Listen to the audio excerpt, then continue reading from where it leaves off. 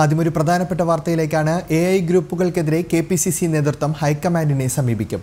പാർട്ടിയിൽ ബോധപൂർവം പ്രശ്നങ്ങൾ ഉണ്ടാക്കുന്നുവെന്നാണ് പരാതി. ഉമ്മൻചാണ്ടിയും രമേശ് ചെന്നിത്തലയും യു ഡി എഫ് യോഗത്തിൽ നിന്ന് വിട്ടുനിന്നതാണ് ഇതിന് തെളിവ്. ഇരുവരും നിരന്തരം പ്രശ്നങ്ങൾ ഉണ്ടാക്കുന്നു. യു ഡി എഫിലേക്ക് പോലും ഇത് വലിച്ചിഴയ്ക്കുന്നത് കോൺഗ്രസിനെ ബാധിക്കുമെന്നും കെ പി സി സി നേതൃത്വം പറയുന്നു. കൂടുതൽ വിവരങ്ങളുമായി ആർ ആർ രാജീവ് ചേരുന്നു. രാജീവ് ഈ ഗ്രൂപ്പുകളെ ഈ കോൺഗ്രസിനുള്ളിലെ ഗ്രൂപ്പുകളെ ഹൈക്കമാൻഡിനെ അറിയിക്കാനാണ് ഇപ്പോൾ ഈ കെ പി സി സി നേതൃത്വത്തിന്റെ തീരുമാനം. എന്തൊക്കെയാണ് വിശദാംശങ്ങൾ?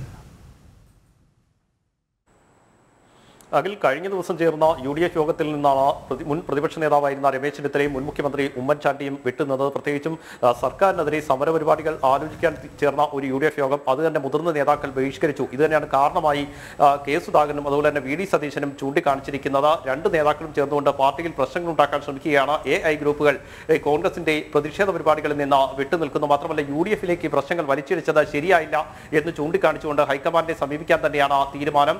കഴിഞ്ഞ ദിവസം കാരണം വ്യക്തമാക്കണമെന്ന് ആവശ്യപ്പെട്ടുകൊണ്ട് യു ഡി എഫ് കൺവീനർ സമീപിച്ചപ്പോഴും യാതൊരു കാരണവും വ്യക്തമാക്കാൻ ഉമ്മൻചാണ്ടിയോ രമേശ് ചെന്നിത്തലയോ തയ്യാറായില്ല. തിരുവനന്തപുരത്ത് ഉണ്ടായിരുന്നിട്ട് പോലും യു ഡി എഫ് യോഗം ഇവർ ബഹിഷ്കരിച്ചത് കെ പി സി സി നേതൃത്വത്തിലുള്ള അതൃപ്തി കൊണ്ട് തന്നെയാണ് എന്നാണ് കെ സുധാകരനും വി ഡി സതീശനും കണക്കുകൂട്ടുന്നത്. അതുകൊണ്ട് തന്നെയാണ് പാർട്ടിയിൽ ബോധപൂർവം പ്രശ്നങ്ങൾ ഉണ്ടാക്കാൻ രണ്ട് നേതാക്കളും ശ്രമിക്കുന്നുവെന്ന് ചൂണ്ടിക്കാണിച്ചുകൊണ്ട് തന്നെ ഹൈക്കമാൻഡിനെ സമീപിക്കാനുള്ള നീക്കത്തിലേക്ക് എത്തുന്നത് ഈ രീതിയിൽ മുന്നോട്ട് പോകാൻ കഴിയില്ല എന്ന നേതൃത്വം പരസ്യ നിലപെടുക്കാനുള്ള സാധ്യതയും നിലനിൽക്കുന്നുണ്ട്. ഇന്നും കെ സുധാകരൻ പറഞ്ഞത് എന്തുകൊണ്ടാണ് യു ഡി എഫ് യോഗത്തിൽ നിന്ന് രണ്ട് നേതാക്കളും വിട്ടുനിന്നത് എന്ന് അവരോട് തന്നെ ചോദിക്കണം. ഉമ്മൻചാണ്ടിയും രമേശ് ചെന്നിത്തലയും തന്നെയാണ് ഇക്കാര്യത്തിൽ നിലപാട് വ്യക്തമാക്കിയിട്ടത് കഴിഞ്ഞ ദിവസം U D F convener M M ഹസനും അതേ നിലപാട് തന്നെ സ്വീകരിച്ചിരുന്നു. രണ്ട് നേതാക്കളെയും താൻ രാവിലെ തന്നെ യു ഡി എഫ് യോഗമുണ്ടെന്ന് അറിയിച്ചിരുന്നു നേതാക്കൾ പങ്കെടുക്കാമെന്നും അറിയിച്ചതാണ്. എന്നാൽ പിന്നീട് യോഗത്തിൽ പങ്കെടുത്തില്ല. അതിന്റെ കാരണം അവർ ഇരുവരും വ്യക്തമാക്കിയിട്ടില്ല എന്നാണ് എം എഫ് ഹസനും ആ, നിലപാട് സ്വീകരിച്ചിരുന്നത്. ഏതായാലും അസാധാരണമായ ഒരു സാഹചര്യത്തിലേക്ക് കോൺഗ്രസ് പോവുകയാണ്. കെ പി സി സി പുനഃസംഘടനയിൽ ഉൾപ്പെടെ നിലനിൽക്കുന്ന പ്രശ്നങ്ങളാണ് ഇപ്പോഴും ഗ്രൂപ്പ് തർക്കത്തിലേക്ക് നീങ്ങുന്നത്. എ ഐ ഗ്രൂപ്പുകൾ പാർട്ടി സംവിധാനത്തോട് പൂർണമായും യോജിക്കുന്നില്ല. തങ്ങളോട് ആലോചിക്കാതെയാണ് കെ സുധാകരനും വി ഡി സതീശനും ചേർന്ന തീരുമാനങ്ങൾ എടുക്കുന്നത് എന്നാണ് ഉമ്മൻചാണ്ടിയും രമേശ് ചെന്നിത്തലയും ഹൈക്കമാൻഡിനോട് പരാതിപ്പെട്ടിരുന്നത്. എന്നാൽ അതിലൊരു തീരുമാനം ഇതുവരെ ഹൈക്കമാൻഡ് പ്രഖ്യാപിച്ചിട്ടില്ല. ഈ സാഹചര്യത്തിൽ കൂടിയാണ് യു ഡി എഫ് യോഗത്തിൽ നിന്ന് വരെ വിട്ടുനിൽക്കുന്ന അവസ്ഥയിലേക്ക് കാര്യങ്ങൾ പോകുന്നത്. അസാധാരണ ഒരു സാഹചര്യത്തിലേക്ക് കോൺഗ്രസ് ഇപ്പോൾ നീങ്ങിക്കൊണ്ടിരിക്കുകയാണ്. വലിയ തർക്കങ്ങളിലേക്ക് കോൺഗ്രസ് പോകുമ്പോൾ സർക്കാരിനെതിരായ സമരങ്ങൾ പോലും പരാജയപ്പെടുന്ന അവസ്ഥയുണ്ടാകും. അതുതന്നെയാകും ഉമ്മൻചാണ്ടിക്കും രമേശ് ചെന്നിത്തലയ്ക്കുമെതിരെ കെ സുധാകരനും വി ഡി സതീശനും ആയുധമാക്കുക. അഖിൽ. രാജീവ് ഒപ്പം തന്നെ ഈ കെ പി സി സി നേതൃത്വം ഹൈക്കമാൻഡിനെ സമീപിക്കാൻ ഒരുങ്ങുമ്പോൾ ഉമ്മൻചാണ്ടിയും രമേശ് ചെന്നിത്തലയും ഉൾപ്പെടെയുള്ളവർ ഇതിനെ എങ്ങനെയായിരിക്കും പ്രതിരോധിക്കുക? അതിനുള്ള സാധ്യതകൾ എത്രത്തോളമാണ്? അതിൽ നിലവിലൊരു വിട്ടുവീഴ്ച വേണ്ട എന്ന നിലപാടിലേക്കാണ് ഉമ്മൻചാണ്ടിയും രമേശ് ചെന്നിത്തലയും എത്തിയിരിക്കുന്നത്. കാരണം കെ സുധാകരനും വി ഡി സതീശൻ ചേർന്ന് ഏകപക്ഷീയമായി തീരുമാനങ്ങൾ എടുക്കുന്നു. തങ്ങളോട് ആലോചിക്കുന്നില്ല.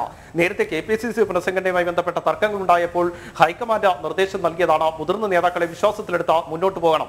പക്ഷേ അത്തരമൊരു ചർച്ചകൾ ഇപ്പോഴും നടക്കുന്നില്ല.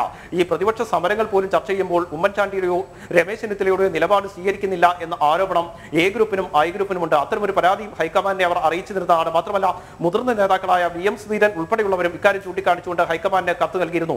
ഏകപക്ഷീയമായ തീരുമാനങ്ങൾ മാത്രമാണ് കെ സുധാകരനും വി ഡി സതീശനും ചേർന്ന് എടുക്കുന്നത്. മുതിർന്ന നേതാക്കളെ വിശ്വാസത്തിൽ എടുക്കുന്നില്ല എന്നാണ് മുല്ലപ്പള്ളിയുടെയും വി എം സുധീരന്റെയും പരാതി. ഏതായാലും ആ തരത്തിലുള്ള പരാതികൾ ഒരു വശത്ത് നിൽക്കുമ്പോൾ തന്നെയാണ് ഉമ്മൻചാണ്ടിയും രമേശ് ചെന്നിത്തലയും യു ഡി എഫ് യോഗം പോലും ബഹിഷ്കരിക്കുന്ന അവസ്ഥയിലേക്ക് കാര്യങ്ങൾ എത്തുന്നത്. ലീഗ് ഉൾപ്പെടെ ഇത് വലിയ ചർച്ചയാക്കാനുള്ള സാധ്യതയുണ്ട്. അടുത്ത യു ഡി എഫ് യോഗത്തിൽ ലീഗും ആർ എസ് പിയും ഉൾപ്പെടെ ഇത് വലിയ ചർച്ചയാക്കും. മാത്രമല്ല കേരളയിലുമായി ബന്ധപ്പെട്ട സമരങ്ങളിലേക്ക് നീങ്ങുമെന്നാണ് നിലവിൽ കോൺഗ്രസും യു ഡി എഫും അറിയിച്ചിരുന്നത്.